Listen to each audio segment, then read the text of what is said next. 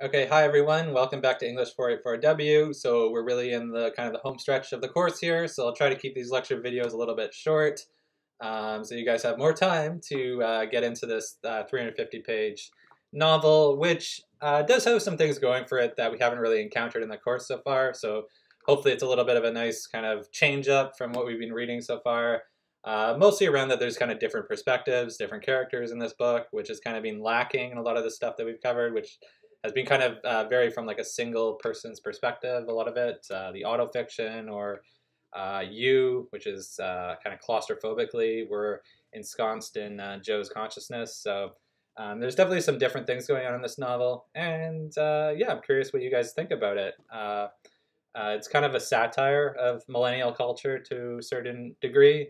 Um, and yeah, uh, kind of very pretentious, but uh, it's also being described as like one of the big kind of millennial novels. So kind of building off, uh, talking a little bit about mel- millennial melancholia last week, and looking at uh, Mira Gonzalez's book of poetry. So I'm just going to get into my PowerPoint here. Okay, so this week what I, what I wanted to talk about was uh, the meta. Um, and the meta is, uh, if, if you're not aware, it's kind of uh, the example that comes to mind for me is the movie uh, Synecdoche, New York, which is uh, about the the making of a uh, play, but the play, the whole making of the play, the directing of the play, the staging of the play, that becomes the plot of the movie. And at various points in the film, steadily as it goes along, the the plot of the play that's being staged and the plot of the movie, the plot of the main characters' lives, all begin to kind of meld together. So the meta is basically just uh, in fiction. It's when a when a text kind of breaks that fourth wall and kind of gestures to its status as a text, text or as a novel. And there is a moment in Private Citizens where that kind of occurs. Uh, there's multiple moment, moments, but in the first hundred pages, when the character of Linda is attending the the creative writing workshop, um, she receives this criticism about her work, which I think uh, is also kind of a criticism of a potential criticism criticism of Tulathimutte's work. So uh, here's the the criticism of Linda's writing from the 27 year old instructor. Um, I guess the concern there would be that the story becomes like a prank, saying, Nya nya, see, I'm smarter than you. No one's saying it's bad, it's just a chilly, sort of valueless sensibility. Sure, Linda said, if you didn't consider taste a value. Okay, Linda, since you don't seem to respond to even handed critique, I'm going to put this out there. The ironic, too cool, meta satire, the sneering and mocking, is actually just a contemporary version of the bourgeois sentimentality it's trying to mock. It's not new, really, it's almost quaint. The backlash has already outlasted it. But the real problem is that it's self indulgent. Um, so I think uh, Amrit kind of mentioned this uh, in his discussion questions that so Tony Tulathimutte, the author of this work, is a Stanford grad. He's writing about four different Stanford grads, uh, and they all come off in different ways a little bit pretentious. Um, and the that pretentiousness at the level of the characters, it's also mimicked at the level of the writing style.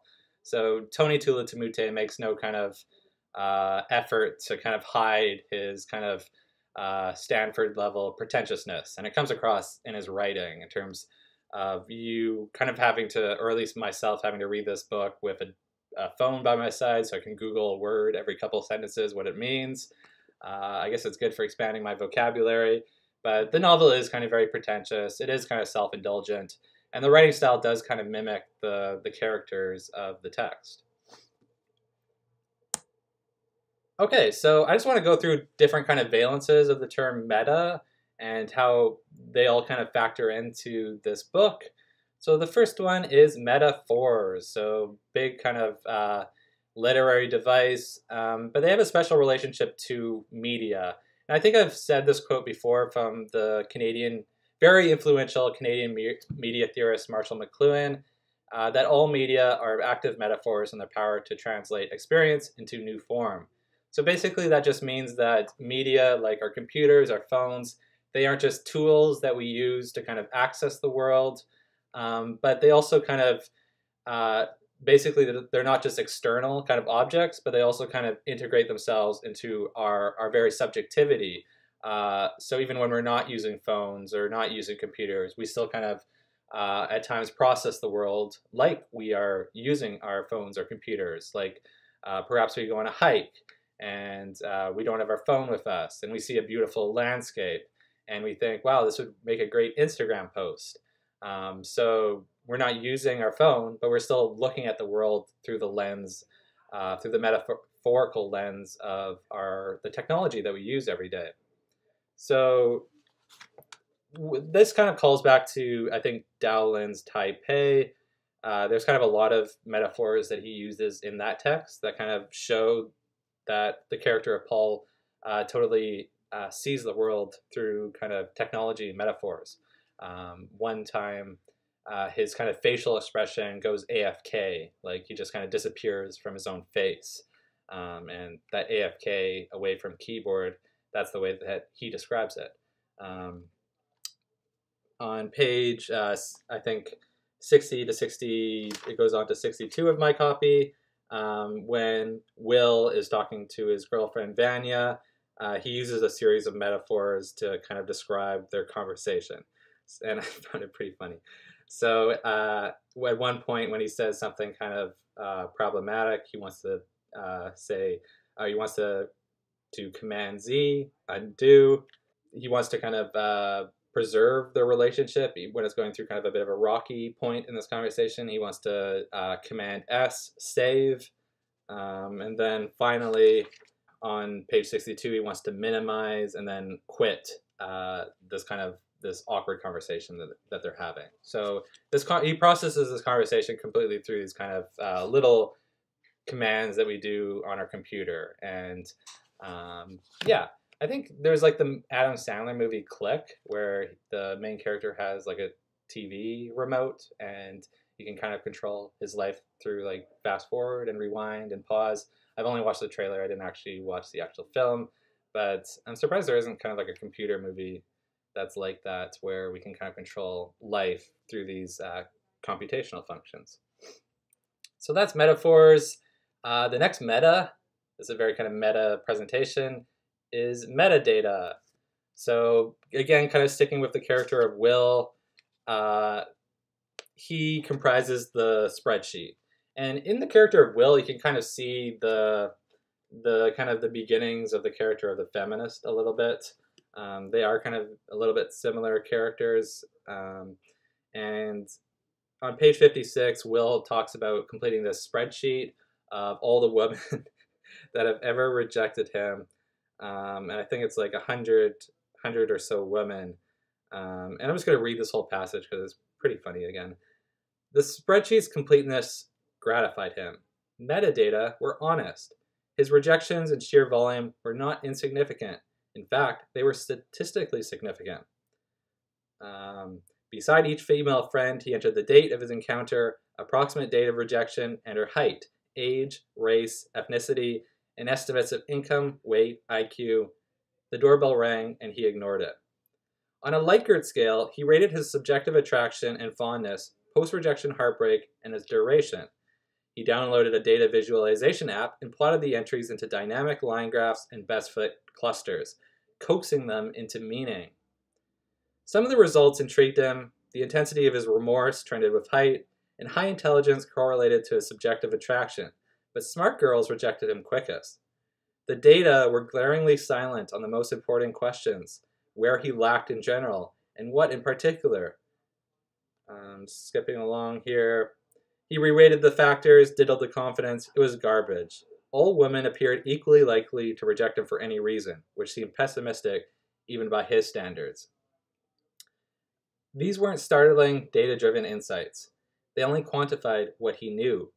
He let out the uh, chesty belch of a veteran bachelor, got up from the recliner after a few attempts, and walked back to his computer desk, overwrote the spreadsheet with a seven pass erase, and deactivated his social network accounts no more of that, no more knowing. So it is interesting that uh, the character of Will in order to figure out the reasons or the meaning behind this kind of uh, series of rejections, he turns to metadata. So trying to analyze by like some kind of calcul- calculative mathematical uh, analysis the reasons for his kind of lack of uh, successful romances up until uh, Vanya. So metadata is kind of where he turns to for for meaning. Um, but I mean, we can't kind of just isolate this trait to to Will because uh, his partner Vanya, uh, when she meets Will, as he kind of snoops again, this kind of snooping into her diary. Uh, so Vanya describes their kind of first encounter in her diary. Tomorrow night date, boy from Lanny's party. Uh, Will, get last name for Goog, diligence, Stanford. Works in tech, Asian, Thai, smart, cute. So the way that Vanya frames their first encounter, it is again this kind of metadata. So nothing really kind of, uh, I don't know, some kind of um, actually kind of interesting substance to him. He's just kind of plotted as this kind of, uh, in terms of his kind of like external traits. Um, so yeah, I mean, this is kind of something that we've seen kind of throughout the course.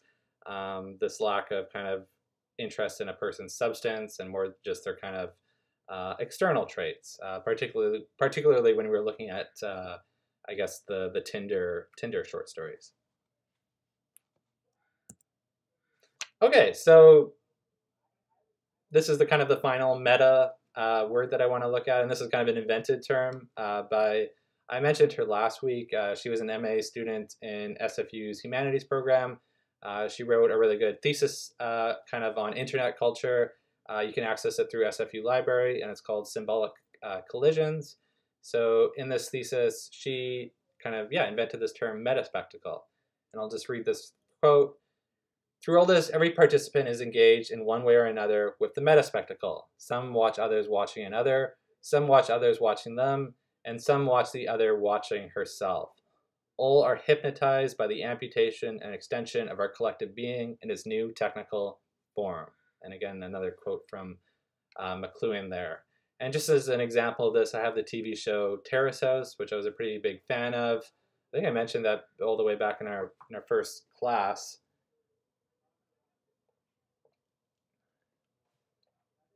Um, I mean, and even not to get too meta, but um, you guys are currently, if you were hopefully are watching this lecture, you're watching me watch my lecture slides. So there is kind of a meta element even going on in this presentation.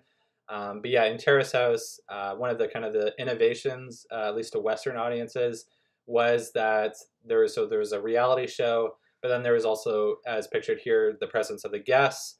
I mean, the hosts so these hosts, the audience would watch them watching the show and then commenting on it. So there's this kind of distance that we then get uh, from the reality show in that these hosts kind of operate to, uh, I don't know, as kind of a mediation uh, in terms of what the reality show p- people are doing. Um, we're kind of protected from having to have like the the final say in what they're doing uh, because there's this kind of mediatory presence of the host that kind of provide the commentary for us. So even going back to when I talked a little bit about interpassivity, uh, that's definitely going on here as well. Um, that we don't have to really even watch the show; we can just watch other people watching the show. So there's something kind of very attractive about this. Um, I mean, it's still kind of really super popular uh, with kind of Twitch, the Let's Play, watching people play video games. Um, there's like reaction videos on YouTube, so you watch people react uh, to other kind of. Hopefully, there aren't videos where you can watch people react to a reaction video.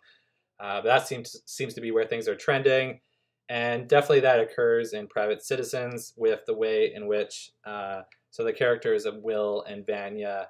Uh, they definitely kind of immerse themselves into this kind of culture of meta spectacle um, by eventually they begin to participate in this kind of live stream live streaming of their lives and um, to a lesser degree will also sets up surveillance a surveillance system in his girlfriend's apartment in New York. Oh my God, it's just it. Some of the stuff in this book is just. Uh, I guess it's interesting, but it's also just like, oh my god, this relationship just seems impossibly toxic and just awful. Um, but yeah, there's definitely kind of they kind of eventually when you get to it, they do kind of immerse themselves into this uh, meta spectacle. Um, and yeah, I, just, I really like this work, so I'm going to keep quoting from it. Uh, and yet, for the online consumer, this does not matter because life in digital meta enclaves despite being chaotic, isolating, and alienating, is consistently denser, quicker, and more alive than the offline world. Um, so this comes up uh, on page 127, and again, sticking with Will, uh, and Will kind of describes his kind of hatred of the outside. Um, it was just ugly outdoors. Sidewalks with their stubble beards of filth, scabby trees pregnant with vermin, weeping sap, stewing in dog piss. Sure, it was nice to have some fresh air while he smoked, but he was myopic, hard of hearing, congested.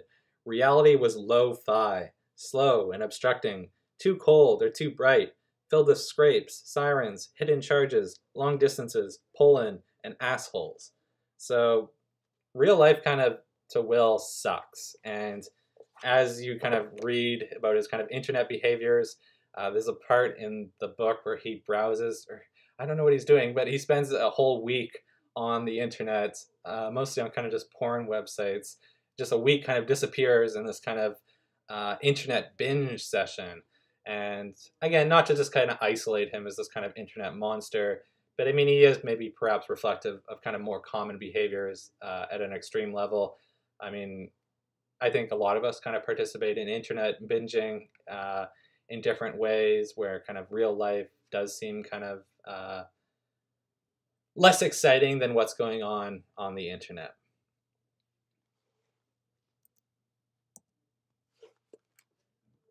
Okay, and then this this is just the final slide. So meta, meta, meta, meta, meta, and um, uh, Wolf quotes from David Foster Wallace in this photo that really looks kind of meta for some reason. It looks fake, um, very strange.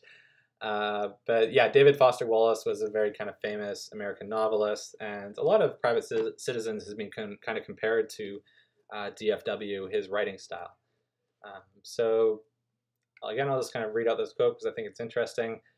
Wallace remarks that as we consume higher and higher doses of meta entertainment, we begin to start watching ourselves watching, retreating into ourselves, becoming vastly more spectatorial and self-conscious heightening levels of alienation, solipsism, and loneliness.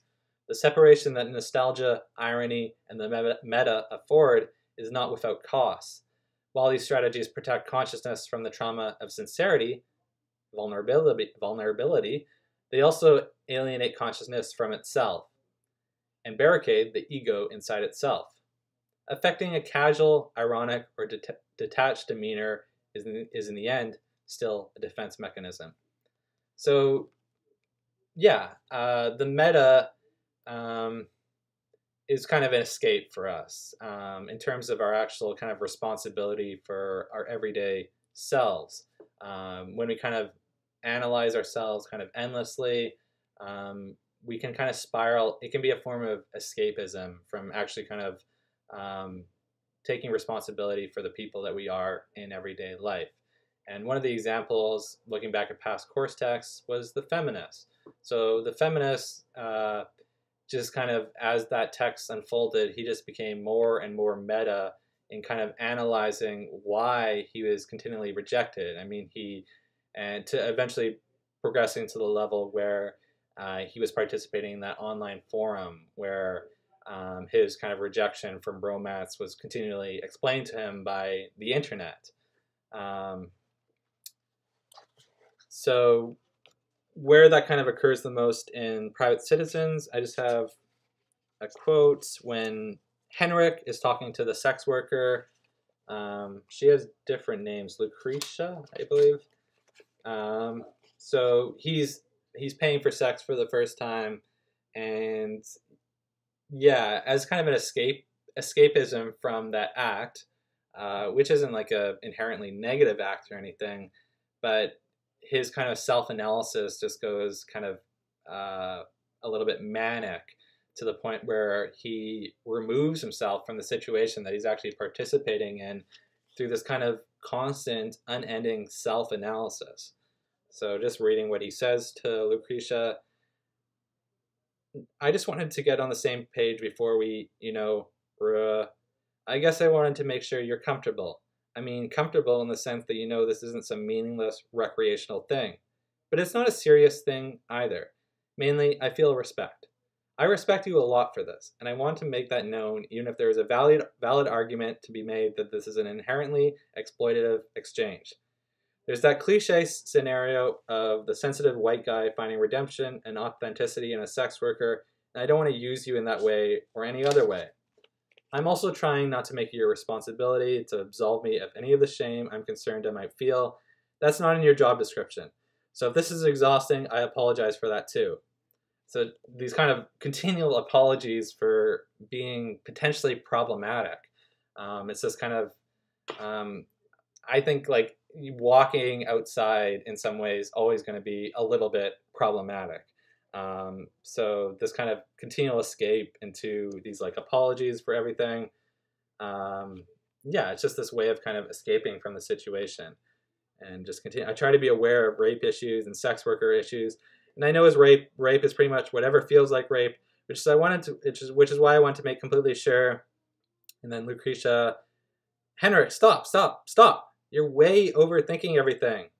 Let me guess, this is your first time. Um, so yeah, Lucretia, who uh, Henrik is trying to make feel better. Um, at the same time, he takes up so much. I don't want to just kind of speak in this jargon, but he does just take up so much space in trying to make himself himself kind of feel better about the action that he's participating by these kind of levels of constant remove. Um, and this is kind of something that kind of afflicts, I think, all kind of millennials to a certain extent. Um, so this, I mean, I think someone described us as being in this kind of post-ironic stage where we're past irony. Um, but if you go on the internet, you do see people still kind of posting things that are ironic. I mean, they say things that they're operating a certain remove from them or a certain distance or detachment from what they're saying.